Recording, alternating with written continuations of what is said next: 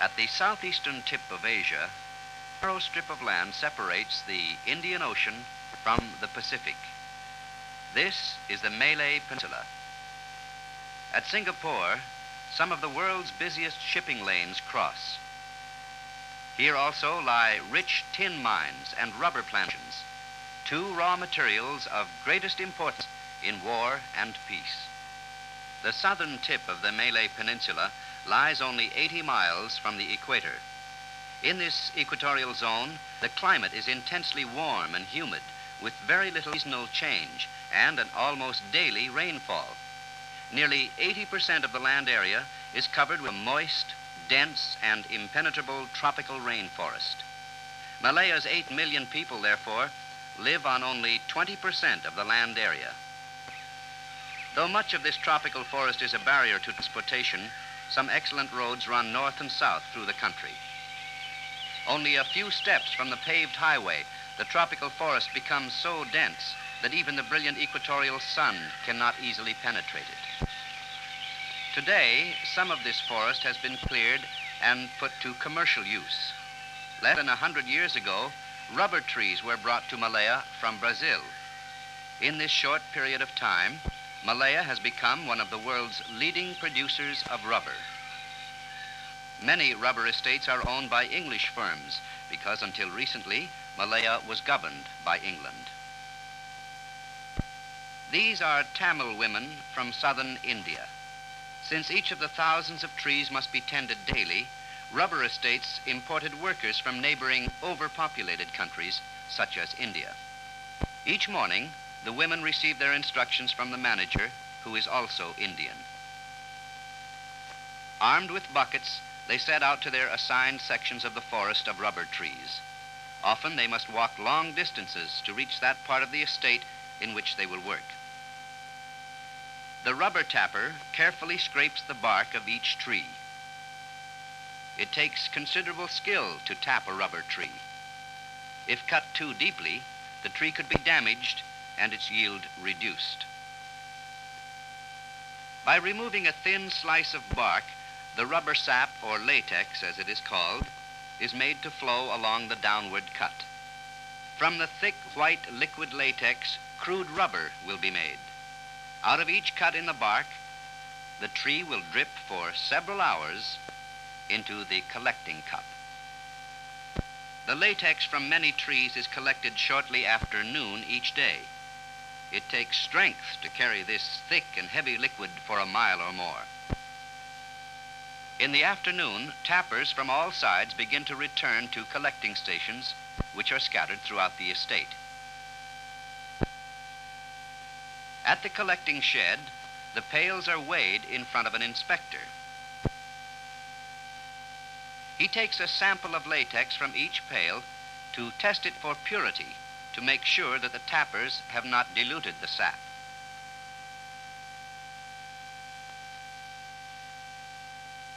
When the measuring instrument floats this high in the liquid, the inspector knows that the latex is pure. Weights are recorded, and each worker is paid according to the amount of latex she has delivered. Many of these women are children and grandchildren of rubber workers who immigrated from India when the rubber boom started. On some estates, the latex is treated chemically and turned into sheets of crude rubber. This large estate prefers to ship its latex by rail to a processing plant further south.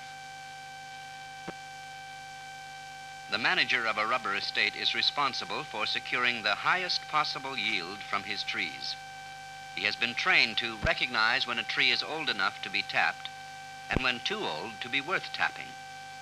He protects the trees from disease and inspects the planting of new groves. For this, the company provides him with a good house and a good income. He speaks Indian as well as English and is expected to know some Malay and Chinese. While rubber is Malaya's most important export, it also has some of the world's best tin mines. Whenever he finds some free time from duties on the rubber estate, the manager drives over to the nearby tin mine to visit his brother who directs the operations here.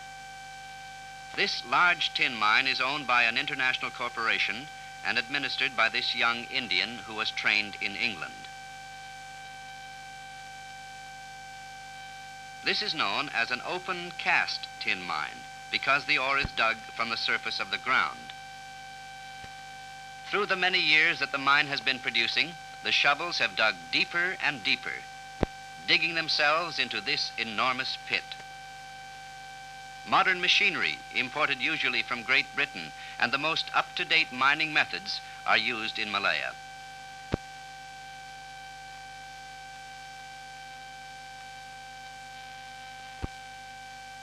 This conveyor carries the ore-bearing earth out of the pit. It runs a distance of nearly two miles. The miners here work in four-hour shifts because of the extreme heat. Three shifts load ore 12 hours a day. Thousands of tons can be transported daily by this efficient method of mining. But the giant shovels are capable of digging more earth than the conveyor can carry away. And so a small mining railroad carries even more of the tin-bearing earth out of the mine.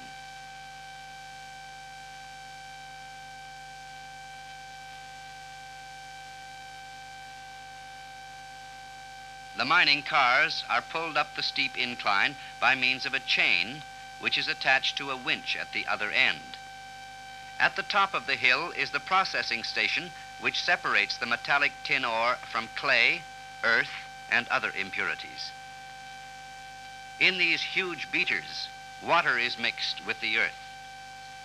The metallic tin ore is much heavier than the impurities, and it won't dissolve in water. Therefore, the tin ore sinks to the bottom of the beater while the other impurities are washed away.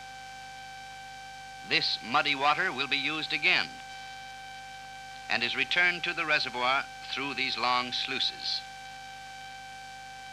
Great quantities of water are required in the processing of tin ore, and it is provided by Malaya's heavy rainfall.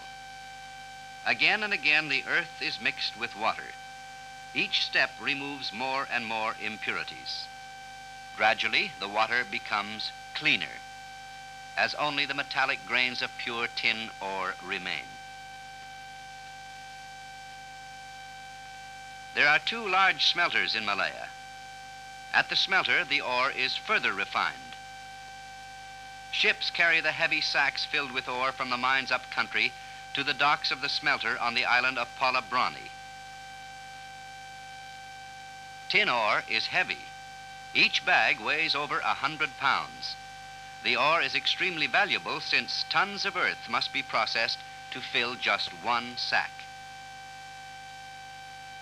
In the smelter, the tin ore is made pure or refined by a process of melting. After several days, the furnace is opened or tapped. The molten tin runs out into a bed of sand molds which have been prepared to receive it and where the metal will harden. The resulting ingots are over 99% pure tin. But tin is never used in pure form. It is mixed with other metals by many different processes and is invaluable in the manufacture of alloys which the industrial world needs, all the way from bronze bearings for ships and trains to the coating in the familiar tin can. Malaya exports a third of the world's supply of tin, the rest coming mainly from South America. The growing demand for this precious metal makes Malaya a strategically important nation.